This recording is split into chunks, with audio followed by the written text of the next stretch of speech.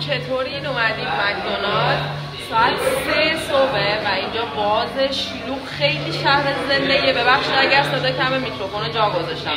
از فردا همه براتون با میکروفون می‌گیرم. چند مدل غذاشو گرفتیم. دبل چیز برگر ناگت و زمینی و اینجور چیزا. بریم با هم تست کنیم ببینیم کیفیتش چجوریه. خودم که خیلی مشتاقم ببینم چجوریه.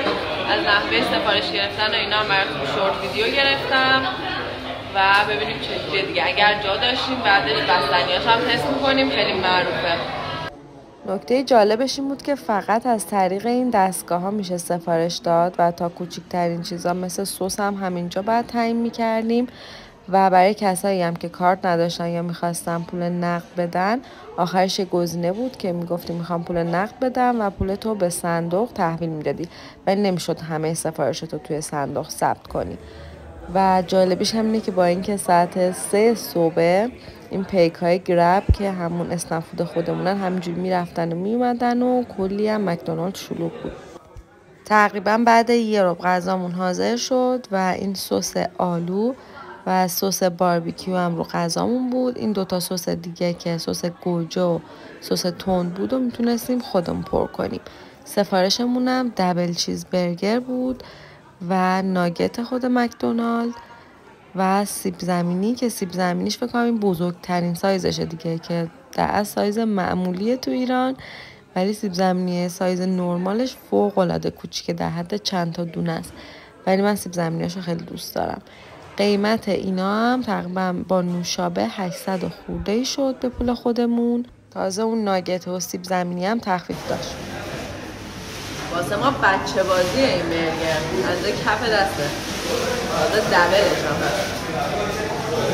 دقیقا اولین چیزی که فکر کنم تو ذوق ما ایرانی ها بزنه همین سایز برگرهای مکدونالده که واقعا اندازه کف دسته و می‌بینین اینجا بیشتر مشخصه. خیلی کوچیکه. فکر کنم برگرهای خودمون راحت سه برابر اینه. تازه اینی که ما گرفتیم دبل چیز برگرشه. برگر معمولیش یه لایه همین گوشت رو داره دیگه. حجم گوشش بد نیست همینجوری که مشخصه ولی طعمش خیلی طعم برگرهای نیم آماده ما رو داره و طعم گوشت خیلی خوشمزه نمی‌تونی ازش بگیری. بریم برای تست سس آلو که من اصلا تا حالا ندیده بودم با ناگتش. و من فکر می‌کنم یه طعم ترش و شیرین داشته باشه این سس. ولی صد درصد شیرین بود و انگار که مثلا داشتی سخاری رو با اصل میخوردی و هیچ طعم خاصی که مثلا از آلو بیادم نداشت به نظر من. ولی من از ناگتش خیلی خوشم آمد یعنی با ناگت هایی که ما تو ایران داریم خیلی فرق می‌کرد. من خودم تو ایران خیلی ناگت نمی‌خورم و اگه بخوام چیز نیم آماده اونجور بخورم حتما شنسل یا فیله می‌گیرم. که مرغ توش رو قشنگ ببینم. اصلا احساس خوبی به مرغ چرخ کرده که تو ناگت های خودمون هست ندارم. ولی این خیلی طعمش متفاوت بود و واقعا خوشم اومد. هم سوخاری دورش خیلی باریک بود و ترد بود و بیشتر حالت یه آرد نرم داشت از این سوخاری پولکی نبود.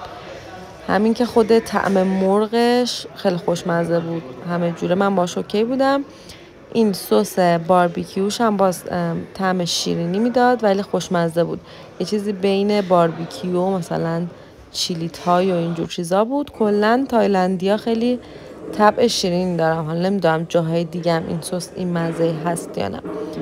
ولی اگر بخوام اولویت بندی کنم بیشتر از همه ناگتش رو دوست داشتم. امتیاز ده از ده می‌گیره. از ناگت هایی که من خوردم تا الان خوشمزه تر بود.